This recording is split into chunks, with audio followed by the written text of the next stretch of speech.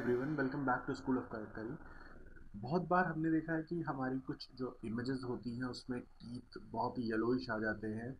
आप आप बहुत अच्छी फ़ोटो क्लिक करवाए, लेकिन आपके अगल बगल जो भी खड़ा है, उसके टीथ बहुत ही येलो है, उसकी वजह से आपकी इमेजेस बहुत ख़राब लगती है फ़ोटो बहुत ख़राब लगती है। तो हम देखेंगे कि हम कैसे इस येलो टीथ को वाइट में कन्वर्ट करेंगे। तो ये मैंने एक फ़ोटो ली है इमेज ली है। यहाँ पे जो आपका एडजस्टमेंट लेयर आइकॉन है यहाँ पर आपका क्या है? Hue and saturation hue click करेंगे तो ये आपका ह्यू एंड ऊपर आ जाएगा। ये आपके पास हैंड जो है हैंड पे क्लिक करिएगा और यहाँ पे जो इसका डार्केस्ट येलो पार्ट है, उनको सेलेक्ट करिएगा। मैं यहाँ से darkest darkest yellow part select करा। उसके बाद क्या करिएगा? Second step saturation full hundred percent कर दीजिएगा।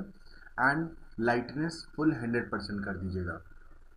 नाउ देख रहे हैं, ये जो आपको ये चीज़ें दिख रही है, ये दिस इज़ सेलेक्शन तो हमें सेलेक्शन केवल केवल कितने पे चाहिए? टीथ पे चाहिए। तो मैं क्या कर रहा हूँ, ये जो आपको नीचे लाइन दिख रही है कलर की ह्यू की लाइन दिख रही है, इसके बार को मैं थोड़ा सा छोटा कर रहा हूँ, केवल ताकि मेरा सिलेक्शन कितने पे रहे, मेरे टीथ पे रहे। वापस सेचुरेशन ज़ीरो कर देंगे और लाइटनेस ज़ीरो कर देंगे। ना अब देखिए, मैं जैसे लाइटनेस बढ़ाऊँगा आपका टीथ वाइट होता जाएगा। मैं ब्रश लेकर, ये जो एक्स्ट्रा पार्ट हमारे आ गए हैं ब्रश लेकर foreground colour black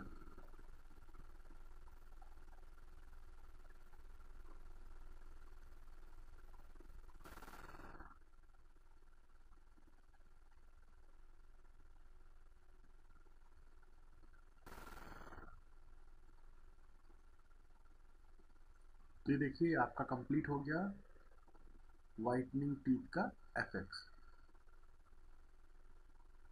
this is your before and this is your after